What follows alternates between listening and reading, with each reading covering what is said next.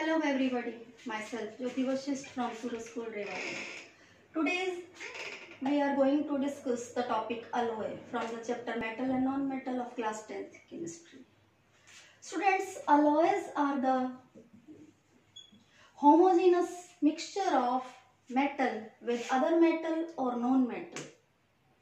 Means in alloys, two or more metals or two or more metals with non-metal are mixes and form a homogeneous mixture that is called alloy. Alloys are of three types. Ferrous alloys, non-ferrous alloys and amalgam. Ferrous alloys means the alloys which, which contains iron as a constituents. Contains iron.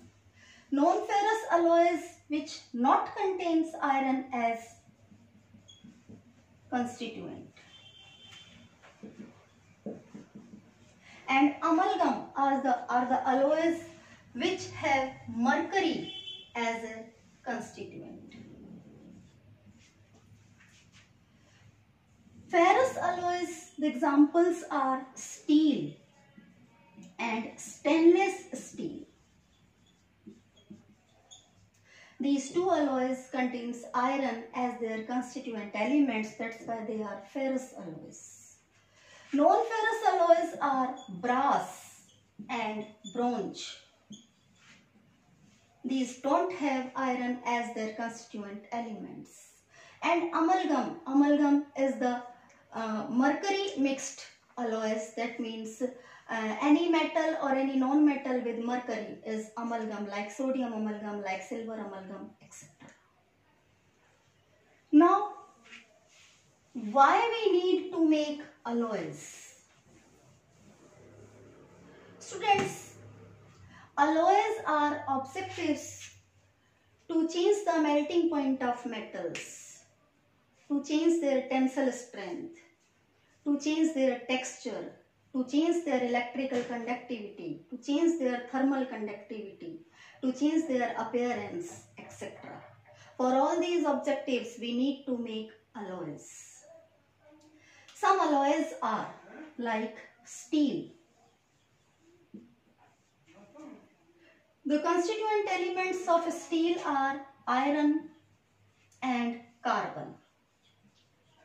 In steel, iron is present in 99% and carbon 1%.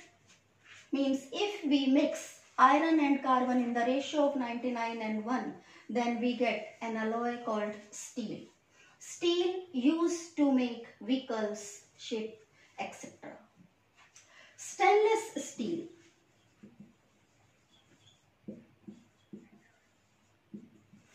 It is somehow better quality than steel. In steel, the constituents are iron, chromium and nickel.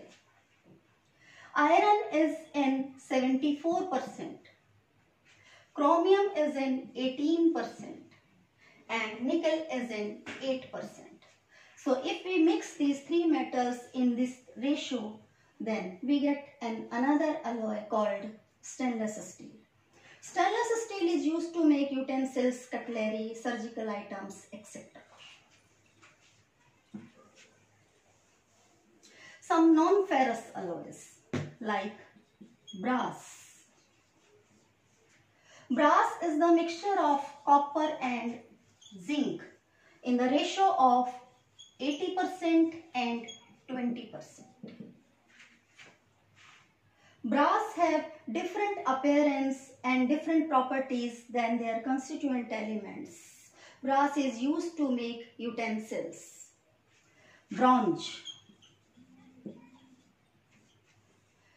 Bronze has the constituent elements is copper and tin.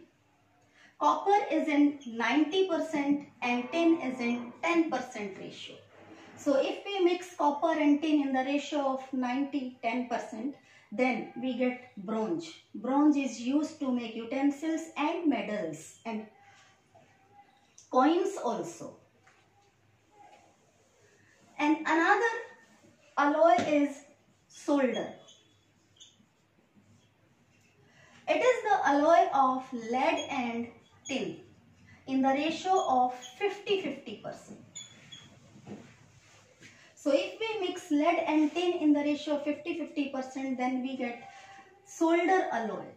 Solder have very low melting point. That's why it is used to weld electrical wires and electrical components. So like this way, alloys have different properties than their constituent elements. That's why we can use them in different different ways.